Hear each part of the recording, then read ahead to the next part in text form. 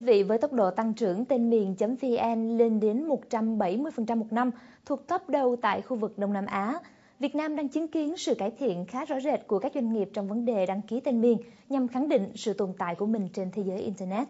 Tuy nhiên kéo theo đó là các vụ việc tranh chấp về tên miền liên tiếp diễn ra mà hầu hết chưa đến hồi kết thúc liệu tình hình tranh chấp tên miền thời gian sẽ kéo giảm và doanh nghiệp nên chủ động phòng tránh như thế nào? FPNC đã có cuộc trao đổi ngắn với ông Hoàng Minh Cường, Giám đốc Trung tâm Internet Việt Nam VNNIC về vấn đề này. Xin mời quý vị theo dõi. Thưa ông, xin uh, ông cho biết là đối với việc đăng ký tên miền tiếng Việt đó, thì nó có tầm quan trọng như thế nào đối với uh, bảo vệ thương hiệu cho doanh nghiệp cũng như là phát triển cái thương mại điện tử đối với doanh nghiệp Việt Nam mình ạ? À? Dạ vâng. Ờ, cái tên miền uh, tiếng Việt nói chung cũng như là cái tên miền à,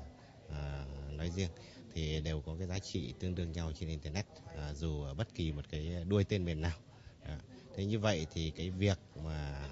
đảm bảo cái quảng bá cái thương hiệu trên internet nó phụ thuộc rất nhiều vào cái việc mà cái chủ thể đăng ký được thành công cái tên miền như cái dự kiến của mình uh, cho cái kế hoạch sản xuất kinh doanh hoặc là quảng bá của mình hay không Đấy, như vậy thì cái việc mà đăng ký được một tên miền là có yếu tố quyết định cho cái sự thành bại uh, trong cái kinh doanh trên mạng của mỗi một doanh nghiệp. Đấy. Thì uh, ở Việt Nam thì chúng ta có hiện chúng ta đang có cả hai cái loại đuôi tên miền. Một là tên miền không có dấu và hai là tên miền tiếng Việt có dấu.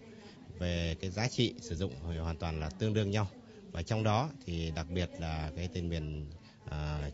vn của Việt Nam này được à, pháp luật bảo vệ và được à, hỗ trợ bởi các biện pháp kỹ thuật của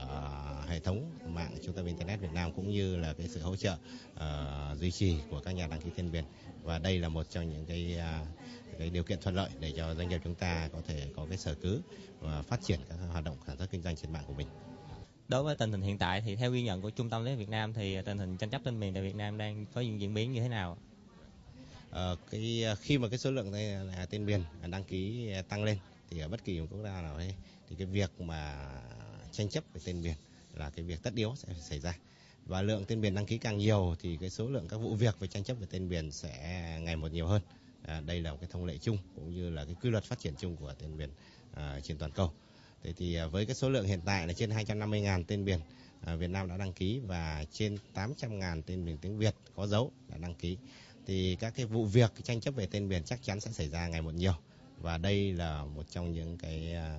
cái cảnh báo đối với các doanh nghiệp và nếu như chúng ta đã có cái dự kiến về sử dụng internet là cái à, phương tiện để quảng bá